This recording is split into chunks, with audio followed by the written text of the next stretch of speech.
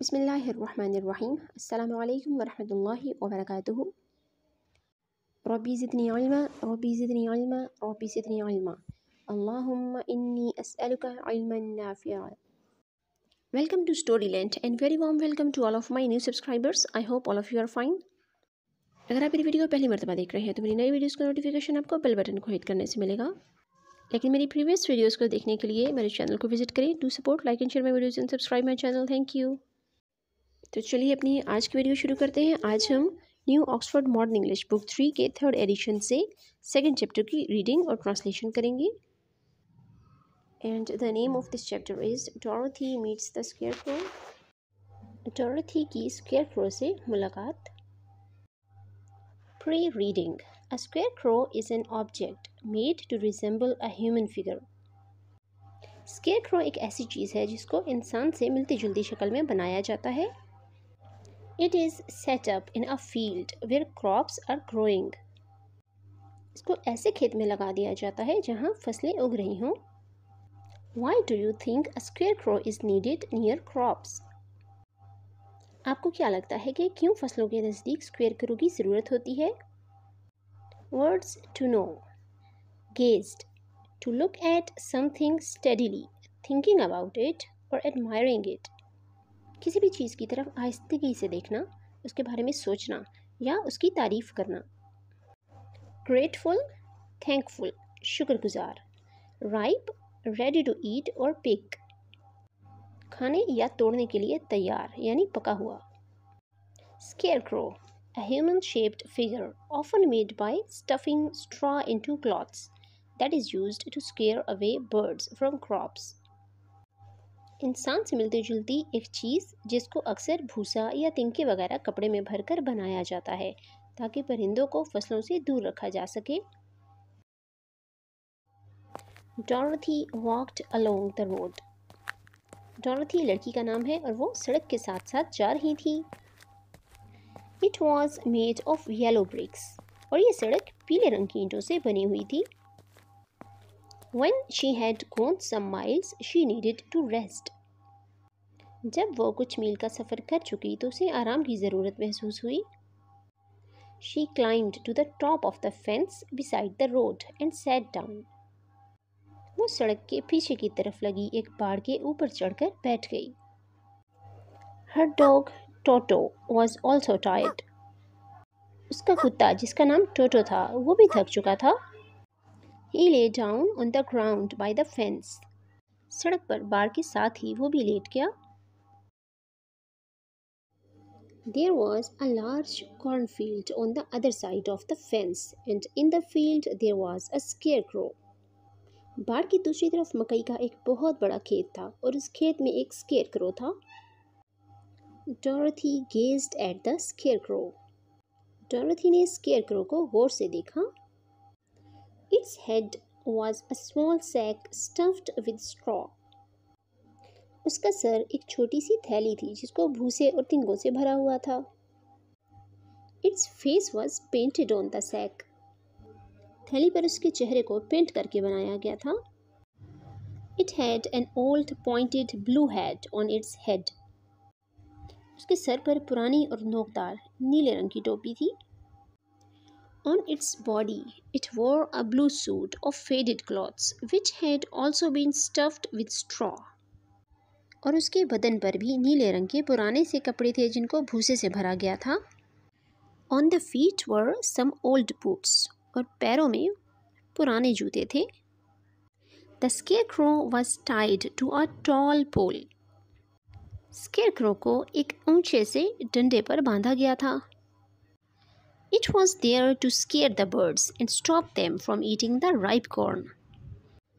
और वो वहाँ पर इसलिए था ताकि परिंदों को डराकर पके हुई मकई खाने से रोका जा सके। While Dorothy was looking at the painted face of the scarecrow, she was surprised to see one of the eyes slowly wink at her. जब डॉरथी उसके पेंट हुए हुए चेहरे को देख रही थी तो वो हैरान रह गई क्योंकि वो अपनी एक आँख को उसकी तरफ़ आहिस्ता आहिस्ता से झपका रहा था। She thought she must have imagined it उसने सोचा, ये उसका वहम है. Then the scarecrow nodded its head to her in a friendly way फिर स्केक्रो ने अपना सर बहुत दोस्ताना अंदाज में उसकी तरफ़ हिलाया। Dorothy climbed down from the fence and walked up to it Dorothy बाहर से नीचे उतरी और उसकी तरफ़ चल कर आई। Toto ran around the pole and barked Toto डंडे के आसपास घूम रहा था और भौंक रहा था। Good day said the scarecrow scarecrow ने कहा आपका दिन अच्छा हो? You didn't just speak did you asked the girl in wonder लड़की ने हैरानी से पूछा तुम अभी बोले तो नहीं? क्या तुम बोले हो? Certainly answered the scarecrow how do you do यकीनन स्केयर क्रो ने जवाब दिया तुम कैसी हो? I am pretty well thank you replied Dorothy politely how do you do Dorothy ने नरमी से जवाब दिया, मैं ठीक हूँ, शुक्रिया, आप कैसे हैं? I am bored said the scarecrow scarecrow ने जवाब दिया, मैं बेजार हो गया हूँ। It is very dull being stuck up here night and day to scare away crows यहाँ पर फंसे रहना और दिन रात कबों को डराना एक अहमकाना काम है। Can't you get down asked Dorothy Dorothy ने पूछा, क्या तुम नीचे नहीं आ सकते?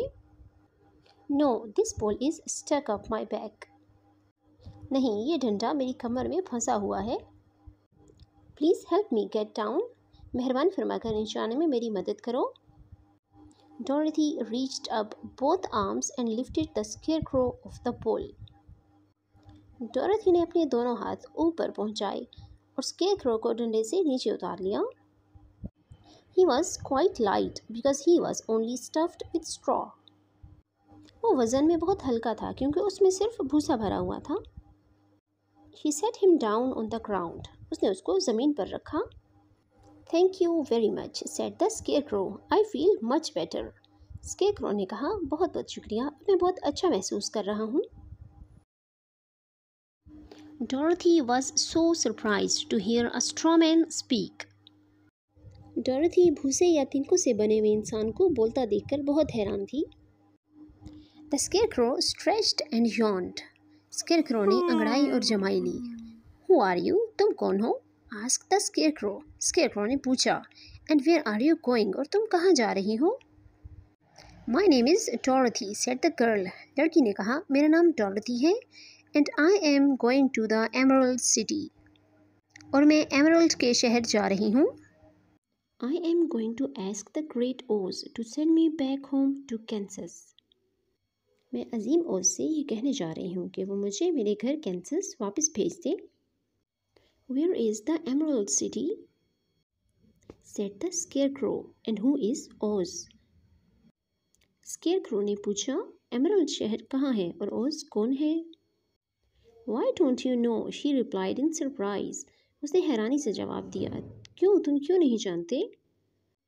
No I don't know anything you see I am stuffed with straw so I have no brains at all he answered sadly उसने बहुत उदासी से जवाब दिया, मैं कुछ भी नहीं जानता। तुम देख सकती हो, मैं भूसे से भरा हुआ हूँ। मेरे पास दिमाग नहीं है. ओह said Dorothy I am sorry for you Dorothy ने कहा, ओह, मैं तुम्हारे लिए अफसोस महसूस कर रही हूँ। Do you think he asked if I go to the Emerald City with you that Oz would give me some brains उसने पूछा, तुम क्या सोचती हो? अगर मैं तुम्हारे साथ एमरल्ड के शहर जाऊँ तो वो ओज मुझे कुछ दिमाग दे देगा?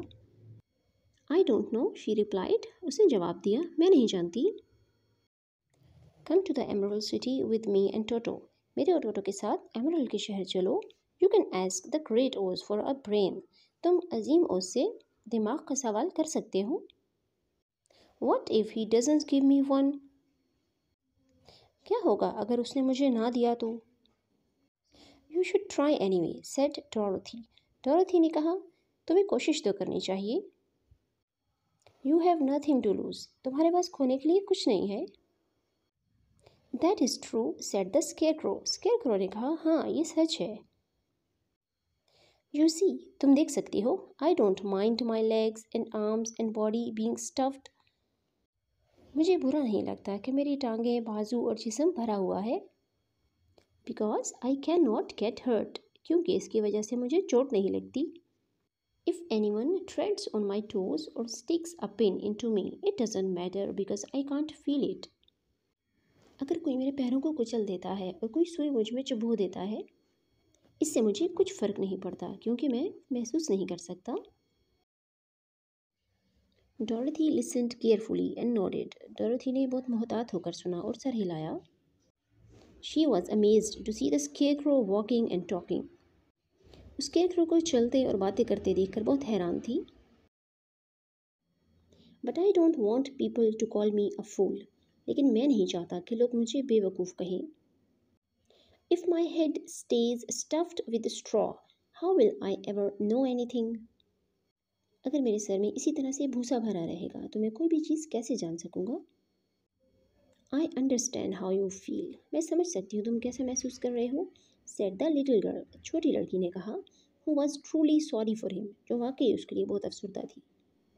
If you will come with me I ask Oz to do all he can for you अगर तुम मेरे साथ आओगे तो मैं उसको वो सब करने के लिए कहूँगी जो वो तुम्हारे लिए कर सकता है।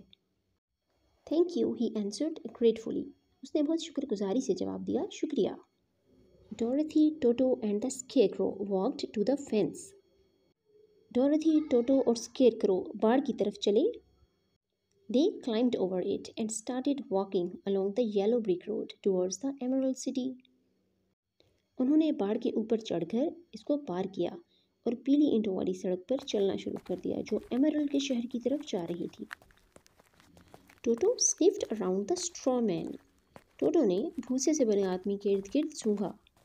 He growled as if he suspected there might be a nest of rats in the straw उसने ऐसे घुराना शुरू किया, जैसे भूसे के अंदर चूहों का कोई घोंसला मौजूद हो।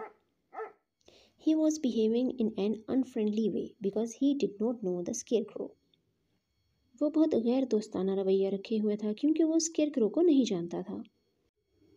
Don't mind Toto said Dorothy to her new friend Dorothy ने अपने नए दोस्त से कहा टोटो की फ़िक्र मत करो ही नेवर बाइट्स वो कभी नहीं काटता.